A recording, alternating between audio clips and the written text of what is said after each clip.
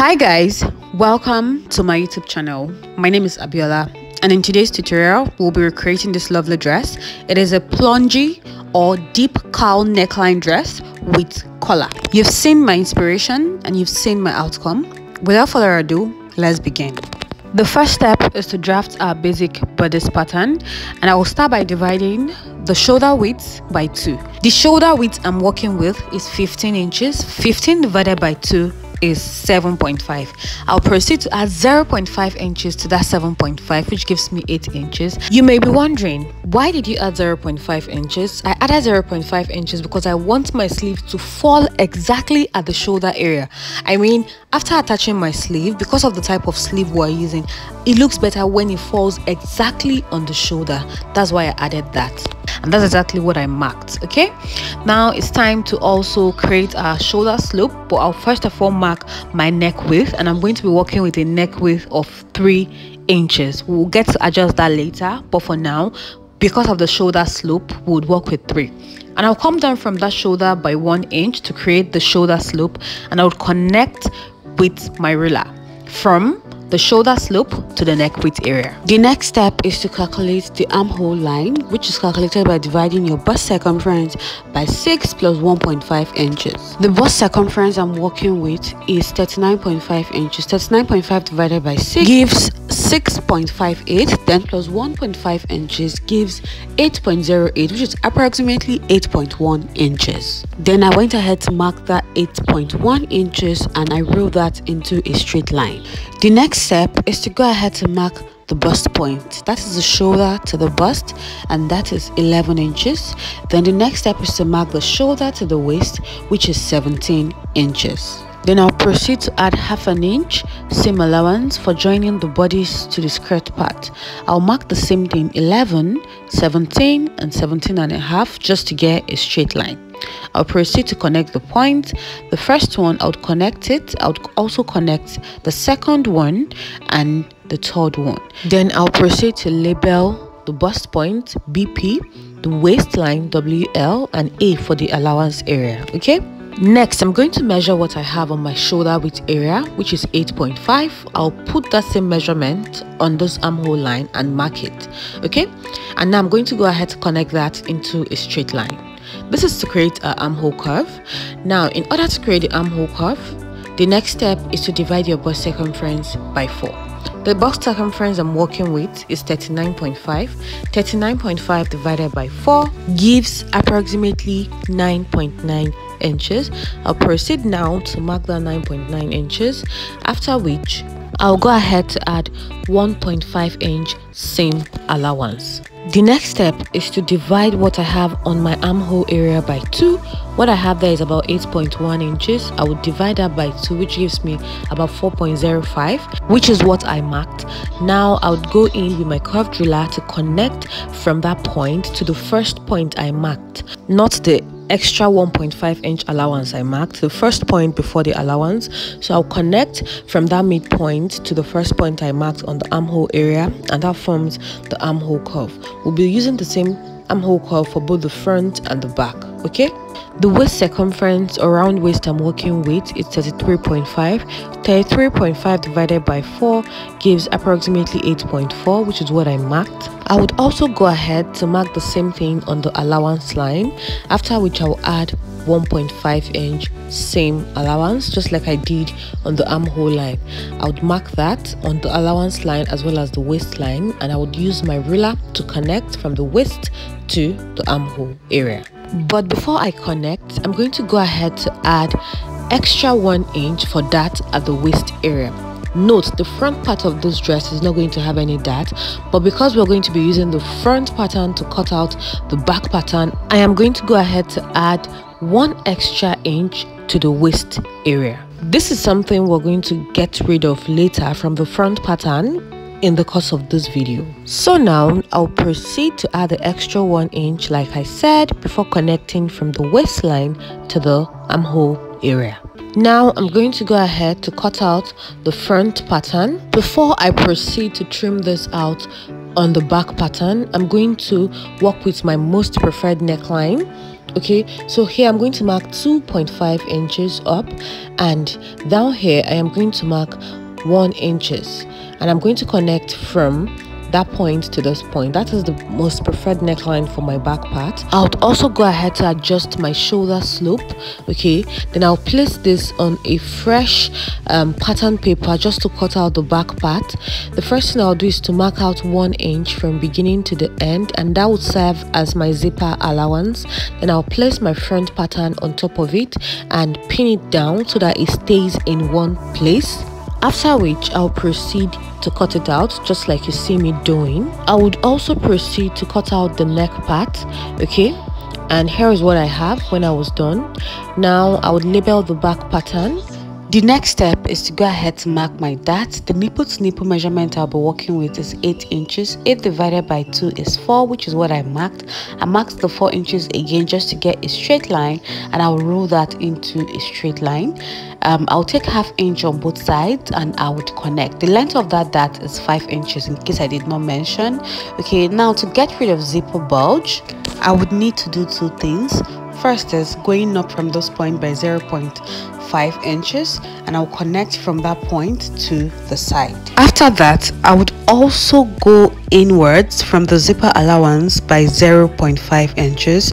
Okay, um, after marking the 0.5 inches, I would now connect from that point to the top of the zipper allowance using my long ruler these two things that we've just done is going to help get rid of zipper bulge and our zip is going to lay nice and flat when we wear our dress. Now i'll proceed to cut out in order to have the new back pattern. The next step is to work on my front pattern which i'm going to use my sellotape to hold in place.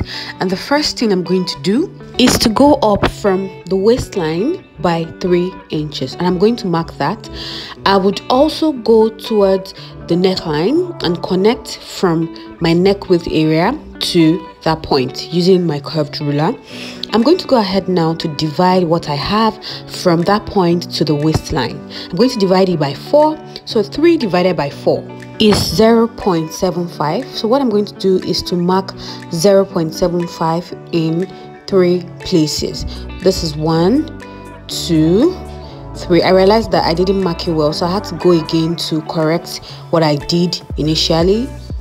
Once i'm done dividing it into four equal parts i'm going to go to the shoulder area and divide it into three equal parts. Then I'm going to proceed to connect from the first point to the first point on the waistline, the second point, the second point on the waistline, and I'll proceed to divide my armhole into two equal parts. The measurement is going to stop where the armhole stops and what I have there is 9 inches. Okay that's before adding the allowance. That part where the armhole stops before the addition of the allowance and what I have at that point is 9 inches. 9 divided by 2 gives 4.5 I'll proceed now to mark that 4.5 and then I'll connect with my curved ruler from the midpoint of that armhole to the last point on the waistline.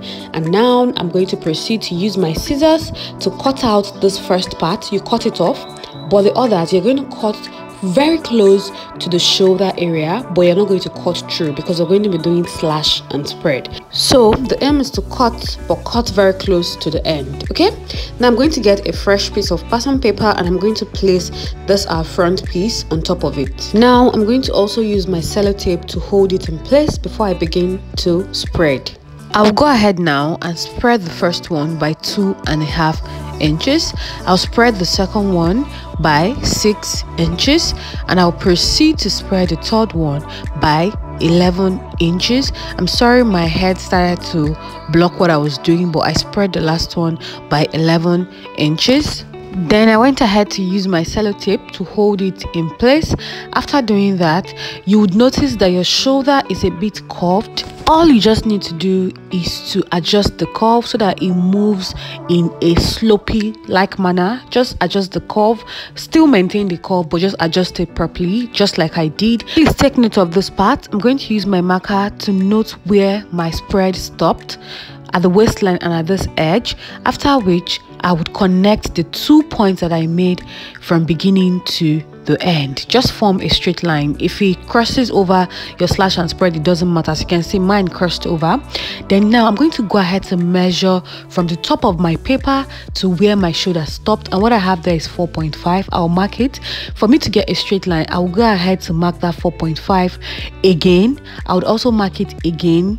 This is um you just have to ensure that your paper is very straight. This is just for us to get a straight line okay? So i'll go ahead to connect the point into the straight line i actually want. After doing that i would proceed to um, try to connect this line to the other line so that everything meets at a point and to ensure that it's at least a bit straight okay? Now the next step is to get our facing and to get the facing I am going to fold from that point which is the straight line I'm going to fold it into two and after folding I'm going to proceed to cut out just like you see me doing.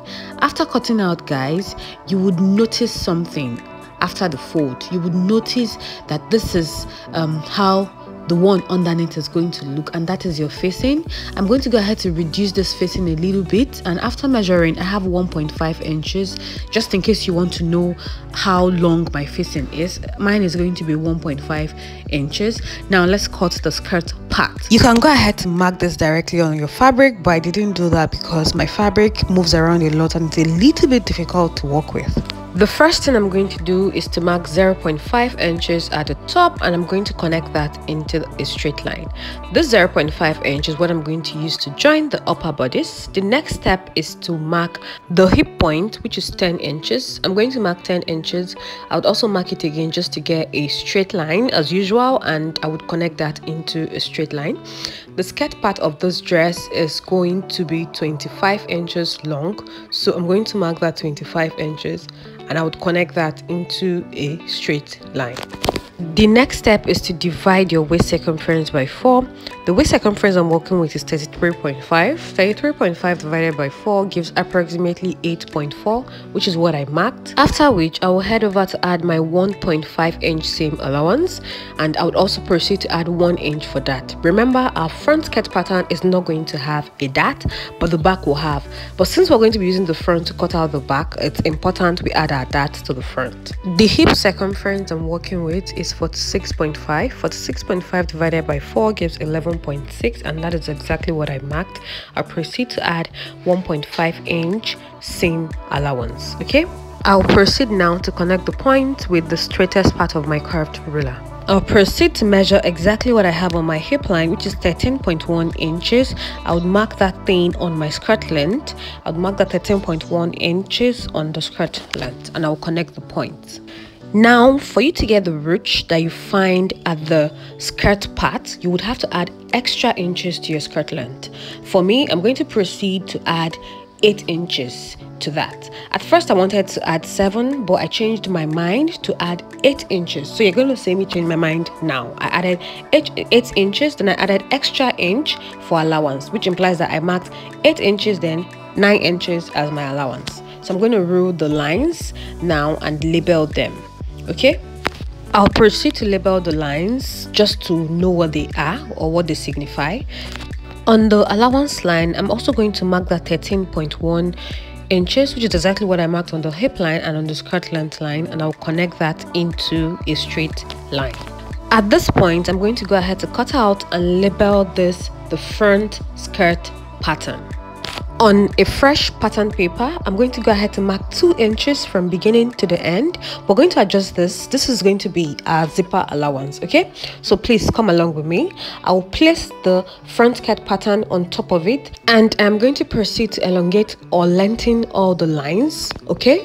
Remember our zipper allowance is one inch but for this one to match with the upper bodice i'm going to mark half inch. Remember we took out half inch to get rid of zipper bulge. On the hip line instead of marking one inch for the zip allowance i'll add 0.5 inch for to give space for the bump so i'm going to mark 1.5 inch. I'm going to come down from that hip line by five inches and i'm going to rule that into a straight line. On that line i am going to mark one inch. I would also go to the skirt length line and also mark one inch. Then on the extra allowance allowance line I would also mark one inch and I would also mark one inch on the allowance line. I'm sorry that part is not showing and I'll proceed to connect all the points. After connecting all the points just like you see me doing I would proceed to cut out. Yeah now in order to get rid of the excess fabric usually found at the tummy area i'm going to come down from the center front by half an inch and connect to the side. Remember we already took our half inch seam allowance so i didn't have to measure any half inch. I just connected from that half inch to the side seam. It's not going to affect the length of your skirt okay? Remember i told you guys that the front skirt and the front bodice will not be having any dart. So at this point i went ahead to remove the one inch dart. So what i did was just to connect from the line to the part where i had marked my one inch dart i just got rid of the dart from the skirt part basically it's not something difficult and i went ahead to cut it out now I'm going to proceed to mark my dart. The nipple to nipple measurement divided by 2 is 4. So um, the length of the dart is 5. I took half inch on both sides and I connected that. Please anticipate the next tutorial which will be the stitching tutorial. I'll see you in the next one. Bye!